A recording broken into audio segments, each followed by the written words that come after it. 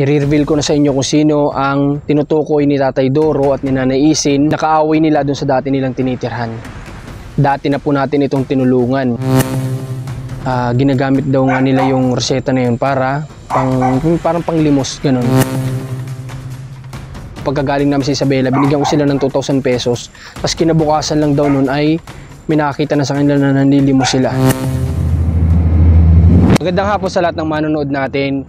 Ah, nagpapasalamat ako sa lahat ng patuloy pa rin na nanonood at sumusubaybay, sumusuporta sa ating platform, maging sa Facebook, maging sa ano natin YouTube channel natin. Ngayong araw ay nandito po kami kina Nanay Isin para po ah, ayusin sana yung mga nalalaman namin tungkol sa kanila na nakakarating po sa amin. Ah, kaya, kaya nga lang sa nakikita ko, hindi ko sure kung nandito sila. Ah, pero may naririnig akong mga aso so possible andito pa rin sila ah, natutulog o to nakatira. Kasama ko ngayon si Commander, andito si Commander. Tapos si Rans, hindi na namin nabala kasi tinatawagan ko sa radyo kanina, hindi sumasagot. Baka lowbat yung radyo niya kasi nga from 8 a.m. to 5 p.m. brownout po dito sa bahay ng Kapalongga. So baka lowbat hindi na namin pinuntahan para isama dito. Kaya tara, samahan nyo kami. Akit tayo doon sa taas at tingnan natin kung sino ang nando Diyan ka lang? Sige. Andyan yung banana ko. Sa ano? okay. Kasi alam nyo mga bayan, ah, kahapon nagpapunta kami dito ng ah, gagawa nitong hagdanan. Kaso nga lang ay kahapon daw ah, may nagsabi, hindi ko alam kung sino sa kanila, nagsabi na huwag na daw ituloy kasi kahit daw ito ipagawa natin, ay aalis at aalis pa din naman daw sila. Nag-message yung karpentero at sinabi na ah, hindi na daw ito, wag na daw ipagawa sabi ng dalawa. Ewan ko kung sino sa dalawa nagsabi. Kasi nga daw eh, aalisan din naman nila itong bahay. At may nakapagsabi din sa akin, kamag-anak nila na pagkakuha lang daw yata ng pensyon, eh, aalis na. So, gusto ko sana linawin sa kanila yun, kaya nandito kami. Tara, tinan natin. Ayun, puro aso lang yung nandito. At mukhang nasa loob pa yata ang aso, nasa loob ng bahay. Oh, nakalak oh.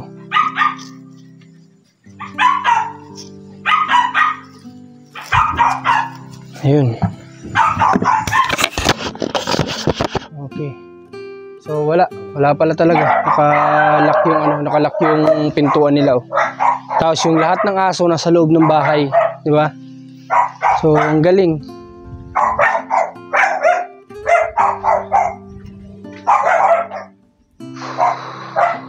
Wala po, wala talaga. Tingnan natin dito sa likod. Tingnan nyo naman, mga ginagawa nila para lang sa mga manok-manok nila, oh. Paano ka naman dito dadaan, di ba? At dito pa nga lamang sa bintana nila ay makikita na natin na hindi man lang magawa na punasan man lang. Puro aso. Oh. Tsaka ano po mga bayan, sa totoo lang si Nanay Isin, malakas pa naman siya. Kasi siya na nga nagsabi na malakas pa siya. Tin- Nung dati, kung maalala nyo sa video natin, nagbuhat pa nga siya ng ah, bigas, ng sako ng bigas. So, ang lakas pa ni Nanay. Sabi ko nga, ang galing at ang lakas pa din ni Nanay Isin. So, dito, sa, kapag pupunta kasi ako, tingnan nyo naman, ah, parang hindi man lang sila concerned sa bahay, na linis-linisan man lang. Tinan po ninyo, oh.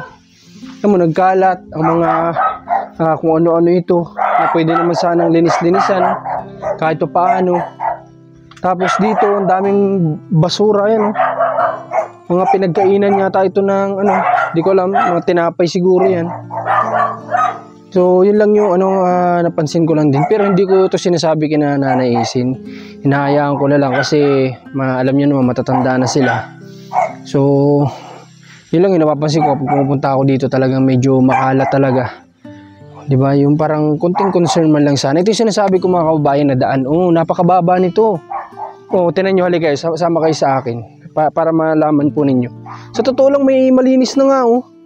Kunting-kunting ano na lang nila. Nasa baba naman na sila nito. Para hindi sila nahihirapan dun, di ba? Oh, tinan nyo, sama kayo sa akin. O, lakad ka lang dito. Oh. Ayan, oh, baba na ito, oh. Hmm. Ito, sako ba po ito ng lupa? Oh, wala na, oh. Ayan, nakalsada na yun dyan. Oh. Baba ka lang, wala namang hirap. 'di ba? Wala namang hirap dito. Sabi nga, ah, walang mahirap sa taong may tiyaga at gustong gumawa ng paraan. Ito, baba na, wala naman, ikaw ba Mac, may taas ba na nilakbangan ka? Wala naman, di ba?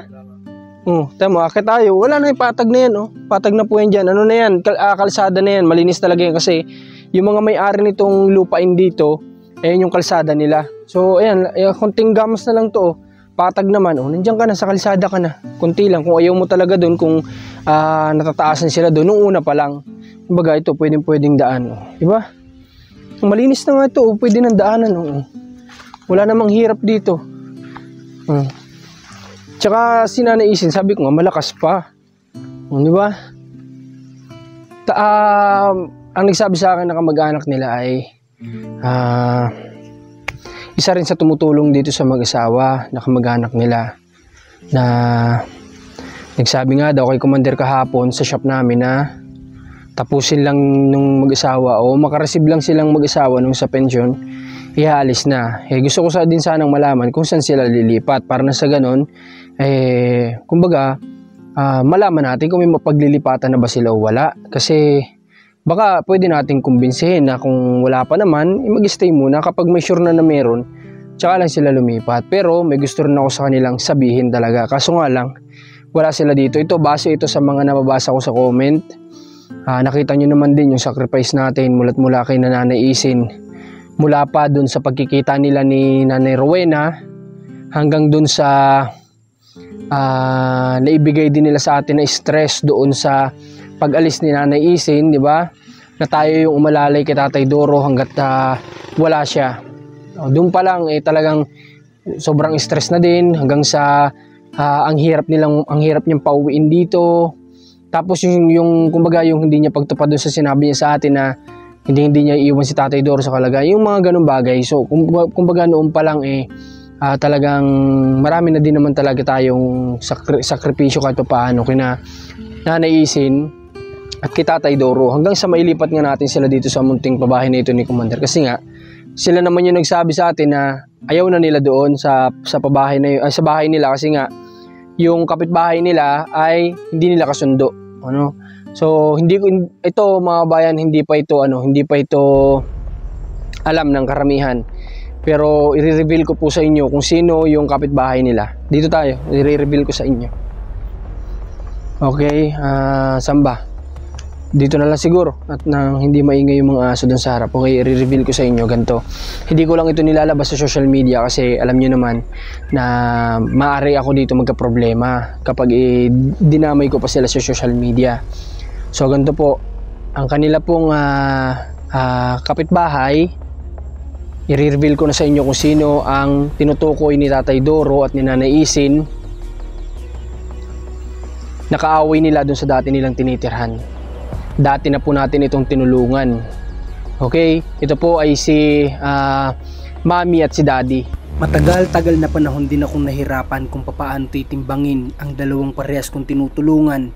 Sa gayong alam kong sa bawat pagbigkas ni Tatay Doro patungkol sa kanilang kapitbahay na sila Mami at Daddy ay naririnig nila ito. Okay? Para sa pakaalaman ng lahat. Total, nakita ko doon sa video natin noong nakaraan na nabanggit din naman ni Nanay Isin yun, si Mami. So, i-reveal ko na sa inyo ito. Hindi sila nagkakasundo talaga, sa totoo lang. Pero hindi ko sila isinasama sa vlog. Kasi nga, alam niyo naman yung naging problema natin kay Mami at Daddy noon. So, ayoko na silang madawit sa social media. Dahil do sa, hindi, do sa naging, nag, nangyaring baranggayan, sa pagitan ng kapatid ni nanay ni mami at sa amin, 'di ba? Hinarap natin yung problema na 'yon na kahit wala naman kaming kinalaman doon. O kumbaga, nandun na rin naman, kumbaga napasok kasi kami sa buhay ni na mami, hinarap namin 'yon. So ngayon, lagi nilang pinagbibintangan si mami at si daddy na kumukuha daw ng kanilang mga manok, kanilang mga damit na labahin. Ano yung ba naman nung ni na mami yung mga labahin? Tsaka ah nagkaka lahat halos lahat ng tao doon galit kina Tatay Doro. Alam niyo po ang sinasabi sa amin. Nasabi sa amin ng ah, mga tao doon ay ah, ayos naman daw sana si Nanay Isin. Kumbaga, ah, may problema daw talaga si Tatay Doro. Ah, hindi daw talaga kasundo ng lahat ng tao doon si Tatay Doro kasi nga ganun daw yung ugali ni Tatay Doro. So, may time pa na yung sinasabi kong nung sa vlog ko na nag-away si si ah, ma- si si Mami, si Nani Isin tapos yung yung yung mga tao na kumakampi kina Mami. Inabangan talaga nila kami sa labas na hindi nila expected na kasunod namin si Nani Isin. So since nandoon na rin naman kunikwento na nila sa amin, eh nagharap na sila. So yun, na pinakinggan namin both side, kumbaga, at lahat nga ng tao doon sinasabi na ah, kawawa daw si na Mami na laging pinagbibintangan nitong si Tatay Doro sa lahat ng hindi maganda nangyayari sa kanila ibinibintang kina Amit Daddy. Eh, naaawa na nga daw sila sa napapanood nila sa video na di ba nakikita papansin nyo lagi may binabanggit si Tatay Doro na yung kabila ganito ang ginagawa niya sa amin nilason yung aso nilason yung ganyan. So ganito magagalit at magagalit talaga si mami at daddy. Kasi sila ay malinis sa bahay nung pumunta nung, nung nag-vlog tayo kay mami at daddy nakikita nyo naman yung paligid nila talaga napakalinis. Loob ng bahay napakalinis. So kahit na ganun sila ay malinis sila. So magagalit talaga yung kasi lahat ng alpas nila na manok na ando doon sa loob ng bahay nila pumapasok andun sa harapan nila. So puro dumi doon ng manok. Kahit naman siguro sinong kapitbahay magagalit kapag ganun. So may rason sila mamit daddy doon bak kung bakit kailangan nila magalit. Ano? Kasi nga dapat alaga mo bilang alaga mo yan maging responsibility responsibilities mo yan ikulong mo naman sana para na sa ganun hindi nakakaperwisyo sa iba di ba? Tapos yung mga aso ang tatapang ng aso ni tatay ni tatay Doro yung binabanggit niya dito na namatay alam niyo may nakapagsabi sa akin na baka daw ang naglason pa noon ay yung mga dumadaan dito kasi nga napakatapang daw talaga nun nung aso na yun. So hindi si tatay Ben na sinuntok niya na lang basta-basta si tatay Ben ng ng ganun-ganun na lang. So ako naman mga bayan ayaw ko lang ah, ano ayaw ko lang kumbaga ay ah, ipapakita natin eh sa video puro yung ano lang yung kumbaga kung ano lang yung positive side. 'di ba lagi ko naman sinasabi yan kahit negative side pa yan ipapakita natin sa video yan. So ayun. Ah, alam na al- ito alam na ninyo na si Mamit Daddy yung tinutukoy nila ako naawa din ako dun sa, sa dalawa. Kaya nga kapag nag-vlog ako kay ni Tatay Doro sinasabihan ko siya huwag ka na po magbanggit tatay pakiusap. Huwag ka na magbanggit. Kasi magkakasira at magkakasira lang kayo. Ngayon mas naunawaan ko na na kung bakit ayaw sa kanya nung dun sa barangay na tinitiran nila dati dahil sa ugali ni Tatay Doro na pati dito wala na nga silang kapitbahay nagkakaroon pa ng kaaway si Tatay Ben na isa din sa napakabait na tao. Kasi nag-survey kami diyan ah oh ganto ganto na lang. Yung tao namin sa shop ay ah, malapit sa papunta kay Tatay Ben ang bahay. So minsan daw pumupunta sa kanila si Tatay Ben. Sabi ko kumusta si Tatay Ben bilang bilang si Tatay Ben? Sabi nga daw napakabait. Nagagawa pa daw ni Tatay Ben magpautang sa ibang tao kahit na ganun lang kinikita niya. So gaano kabait yun tapos sabi nga nung tao namin sa shop kung minsan daw nga may daladala pa sa kanilang bigas kasi minsan doon siya nakikikain. May bitbit pang bigas yun. Kumbaga hindi lang talaga siya yung, yung kapal mox na makikikain lang talaga siya. Magdadala din siya kumbaga. Tapos nakakapagpahiram pa siya ng pera sa mga tao doon sa barangay nila. Kaya nagalit din ako kay Tatay Beno kasi nga ay hindi tama yung ginawa niya kay Tatay ay kay, kay Tatay Doro nagalit ako kasi hindi tama yung gina- ginawa niya kay Tatay Ben na yun. Nasa pakanya lang ng ganun-ganun. Eh, sabi nga nung tao, kung papatulang ko yun, eh, baka nalaglaglaw dito kung saan kasi mas malakas si Tatay Ben sa pangatawan ngayon kumpara kay Tatay Doro na hirap na nga dito umakyat eh si Tatay Ben nakakakyat pa dito ng walang hirap, ng walang pagod. Di ba? So ayun, nireveal ko lang sa inyo. Tara, punta tayo dito. O ito, ah, hindi ko alam kung sino na nagkabit nito. Ito, pinakabit natin to at ah, nakulangan pa nga daw ito dito ng ah, yero. Hindi na nagawa nung karpintero kasi nga ay ah, nagkaroon yata ng tawag siya dun sa dating trabaho na kiusap na baka pwedeng ah, hindi mo na niya magawa ito. Kasi inabot na siya ng hapon nito nung nagawa dito. Sabi ko okay lang, may mga yero pa naman doon anytime naman pwedeng dugtungan dito. So okay lang yun. Ito baka pinalagay nila na naisin dito. Tsaka ito, oh. ito na dapat wala naman dito. Hindi ko alam bakit ganito yung pagkakagawa nito.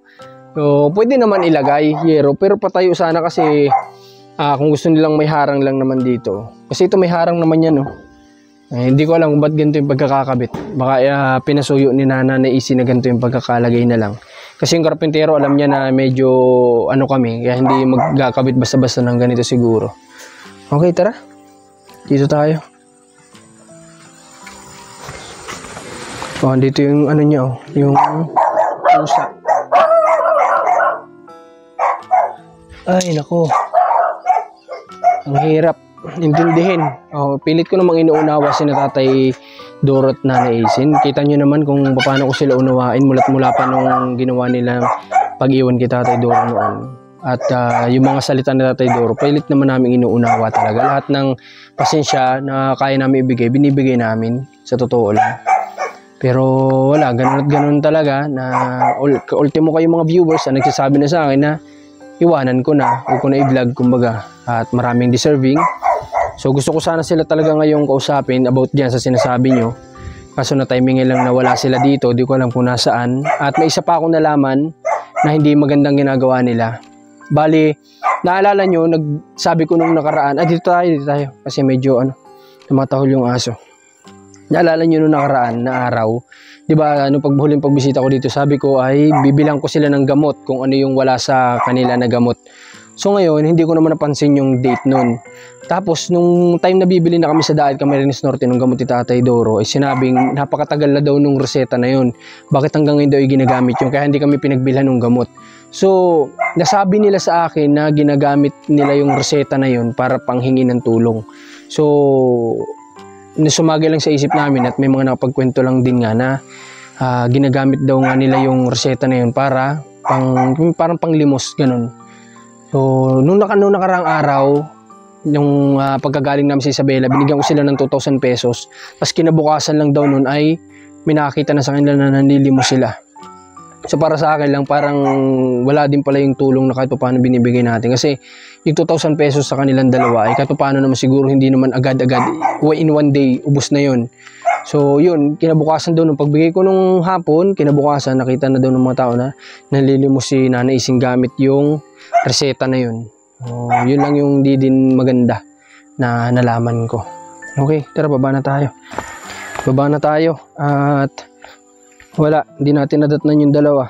Ang plano ko sana sa kanila ay um, bibigyan ko pa rin ng tulong sana ngayon. Kumbaga ng panggastos nila, bigyan ko sila ng cash. Total, eh, may mga tumutulong din naman sa atin. Anonymous sponsors, hindi ng Adelina. Eh, nagbibigay sa atin ng para sa pangtulong din sa iba. So, ah, bahagian ko din sana sila ngayong araw. Kaso nga lang wala sila dito. Pero, yung mahalaga kong sasabihin sa kanila ay ah, gusto ko talaga sana malaman na nila ngayon kaso wala nga lang. Okay, pero tatry natin. Baka mamaya makasalubong natin sa daan, eh, sasabihin ko pa rin sa kanila kahit walang camera. Tara.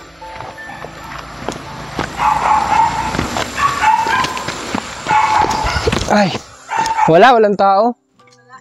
Wala.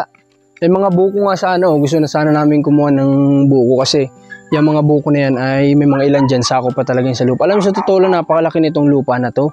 Kumbaga, kung kami nga lang ay naka, kami ang nakatira dito, eh baka ito eh puno ng tanim ni Commander yan. Kaso nga lang sila eh ano, wala masyadong ano, wala masyadong diskarte sa pagtatanim na alam ko alam niyo naman yan sa mga taga-probinsya na basta masipag ka magtanim, meron kang kakainin. Kaso nga lang sila eh parang sabi nga ng mga viewers eh parang umasa na lang sa sa magbibigay at sa panghihingi-hingi siguro nila ganyan na pwedeng pwede pa naman kumilos talaga. Kaso nga lang ah, kita nyo naman malakas pa, di ba? Kayo din na nagsabi niyan, nakita nyo na malakas pa si Nanay Ising kaso wala nang ginagawa na paraan para kumita ng pera. Parang ganun. Tara. Wala, walang ano, walang tao. Yung aso, lahat ng ano eh, ano, na ando doon sa loob ng masabi mo ng commander eh, lahat naman ng hayop nila nasa loob na bahay. Hindi dapat doon kasi magdudumi yung mga yan ay, di ba? Tsaka para din sa kalusugan nila yun, siyempre. Mm, mm, Kaya nga sinabihan natin dati si Tatay ano Ben dahil Oo. nagpasok ng mga manok. Oo, kasi si Tatay Ben, maalala nyo, sinabihan namin dati na Tatay Ben, ilabas mo lang ang manok. Wala naman sigurong mag-interest niyan magkuha, basta nakatali yan dyan. Kaysa naman nandyan lahat ng dumi niyang ano, ng hayop sa loob niyo, tapos diyan kayo natutulog, di ba? Oh, sanay ba sila na nasa loob ng bahay yung mga hayop? Oo, sanay, kasi lahat ng manok nila katabi nila dun sa pagtulog. Kaya Dun sa pala- dati nilang bahay. Di ba? Oh, Kaso nga lang yung proper hygiene, wala na. Kumbaga yung amoy nung dumi ng hayop nila na nasa loob, tapos katabi na nila yung mga dumi. Pa, tsaka parang nabababoy naman yung loob ng bahay, di ba? Tsaka, oo, hindi, hindi nga malinis na tirhan pag ganyan. Yung plano pa nilang aalisan yan. Siguro, itutuloy nila kaya nga Tuloy, hindi tuloy nga daw. oh, hindi nila ano hindi Tsaka di ba nila, ikaw nagsabi na sinabi nung kamag-anak nila Mm. na talagang pagkakuha lang ng pensyon, naalis na talaga. oh, alis na sila. Mm. Kaya ganyan hindi nila inaalagaan at hindi sila interesado, yun lang yun. Nagpunta nga daw dito yung ano, yung pinapasuyuan ko sana maggawa niyang hagdan. Mm. Kaso may nagsabi daw dun sa dalawa na di ko alam kung sino sa kanila na ah, kahit ipagawa yan, naalis daw sila. Oh. Nag, nagbigay na sila ng salita na ganun. Kaya hayaan na lang natin kung basta tayo naman, alam ko naman, kung sa tingin nyo, sa mata nyo, hindi pa natin nagawa yung best natin, eh wala po kayong magagawa. Pero para sa akin naman eh, lahat naman ng best natin, ibinigay na natin para sa kanila, para lang mapaayos. O kaso nga ang dami pa rin reason. O, pinuntahan ko yung dun sa kabila, napakababa pala nun. Nang daan doon, walang taas. Ito, medyo, kung natataasan sila dito, dun sa kabila, halos patag lang. O, makakababa ka na kaagad. Hmm. Tsaka ano dyan, tahimik, ang sarap ng Ang muhay sarap dyan. mamuhay dito sa totoo lang. Ano yung freedom mo bilang matanda ka na. Nandito na yun kasi alam nyo ang matanda, alam ko yan. Na ang matanda, karamihan na nakausap natin, ayaw nila ng maingay, gusto nila tahimik lang. At saka dito, ang, ang pinagtataka ni Rans, nahihirapan daw silang kumuha ng palapa ng niyog para gawing walis. Ang dami. Napakadami po niyang niyog na yan. O, tinan nyo, pagmasdan nyo. O, di ba? Lahat ito napapalibutan ng nyog. O. Sa totoo lang eh, baka mas marami pa yung nyugan dito kaysa sa pinanggalingan nilang bahay. Nayaan, pwede nilang kunin yung mga laglag dyan. Kasi ano po yan, yung ano yan, yung mga nalaglag na yan, matutuwa pa yung may-ari ng lupa kasi nalilinisan yung ano nila. Natatanggal yung mga palapa, ganyan. Mm-mm. Mm, Kasi alam niyo yung mama ni Rans, ganito yung business niya. Siya mismo ang nangunguha, siya mismo nagkakayas. Yun, napaka... Kumbaga mas mahirap pa yung sitwasyon niya para makakuha ng kayas ng gawaing walis. Pero nagagawa niya ng paraan. Ang dami niya nagagawa. Ito pa kaya na nasa palibot yung mga nyugan. Oh. Oo, sa Diba? lupa, pati yung tatlong Oh, nyug yeah, na may yan, mga oh. nyugan dyan. Dito pa yan sa lupa. Oh. Mm. At saka yung ganito, alam, alam ko alam nila yan, na kapag kinuha na nila ng nyug yung mga palapa na nakabagsak, matutuwa pa yung ano niyan, matutuwa pa yung ah, may-ari. Kasi nalilinisan yung ano, ay nalilinisan yung lupa. Di ba? Kasi sino ba namang hindi matutuwa? O, tapos, makita pa yung sitwasyon nila. Mabait yung may-ari din ito na pinagbila namin ng lupa. Di ba? O, kahit nga siguro sabihin natin doon na kapag magkakawit sila, maglalagas, ibigay na lang ang nanaisin, payag na payag yung mga yun. Kasi wala naman sila niya pagdadalhan. Hindi naman sila gumagawang walis. Ayan, kagaya niyan mo, mga natuyo na, nakatambak na lang dyan. Ang dami oh, Bago Oh. mga naka, natuyo na. Pero nakatambak lang dyan, oh, ang dami. Oh, halaga, pakita natin. Para ano, ayan oh, pakita mo Mac. Ang dami oh. Andun pa oh. Halos kumpulan dun yung palapa ng nyug oh. Oh, andun. Oh, hindi lang masyadong pakita dito sa pwesto natin, pero ang dami, natuyo na.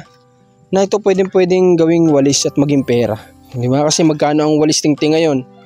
35 Oh, yata. 35. Sabi natin 35. Oh, maka ilang big kiss ka ng walis. Pera na 'yon, 'di ba? Gawa lang din ng paraan, kumbaga. Kaso nga lang yun yung wala ka na nanay ano, nanaisin yung paggawa ng ibang paraan para kumita ng pera. Okay. So, siguro hanggang dito na lang yung vlog ko. Sayang lang di natin naabutan pero di bale, by tomorrow babalik ulit ako dito para masabi ko sa kanila yung gusto kong sabihin kung di natin sila makita dito sa kalsada. Okay, kung makita natin, bibigyan pa rin natin sila ng pang-allowance kahit pa paano. Oh, hanggang dito na lang, supportan nyo Commander ni Marcos, yung kanyang YouTube channel, Facebook page, Alma Vlog, Marcos TV channel sa ating Facebook page. Sa lahat po ng gusto mag-message sa atin, sa Marcos TV channel po yan sa Facebook page natin. Mag-ingat lang kayo sa scammer. Paalala lang, hindi kami nanghihingi ng kahit anong informasyon impormasyon sa kahit sino mang gustong ah, magbigay ng tulong. Mas mainam, sabi ko nga, pagsendin nyo ng video yung kausap ninyo para nang patunay na kami talaga yung kausap ninyo. Mas, mas okay yun kahit mag-effort kami kung kami nakabasa. Nag-effort talaga ako na mag-send ng video kahit si Commander para lang magtiwala yung ah, o makomportable yung gustong tumulong na kami na nga talaga yung kausap ninyo. Mag-ingat lang kayo dyan kasi ang dami na na-scam, no? Mag-ingat po kayo. At ano pa ba? Huwag nyo kalimutan mag-subscribe sa mga hindi pa para mag mag-grow up naman yung ano natin, yung channel natin kasi lahat ng analytics natin ngayon ay bagsak talaga. Pero okay lang yun, dire-diretso pa rin tayo. Maraming salamat ulit at God bless po sa lahat.